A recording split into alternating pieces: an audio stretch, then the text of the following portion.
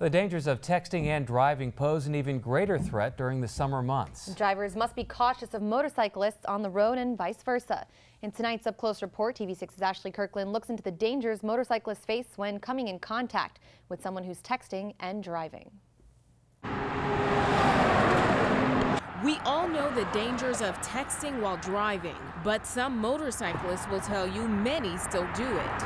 The swerving of the cars, the taking up whole lanes, part of the other lane, we have to be ready to move at a, at a second's notice. Harvey is a safety instructor at the Harley Davidson store in Marquette. He's been riding motorcycles for 18 years and says there's not been a more dangerous time for motorcyclists on the road than now.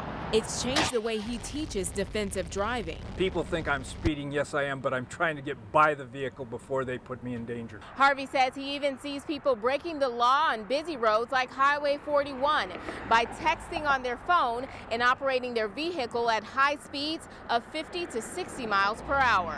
If he can't get over, he slows down to let the texting driver pass. It's the exact opposite of what this motorcyclist in California did. In the video, he asks the person next to him to put their phone down, cursing at the driver. Just seconds later, the person in the car hits him. First of all, I'm not happy with the person on the cell phone, but I'm really not happy with the biker using that kind of language because all you're doing is antagonizing that person.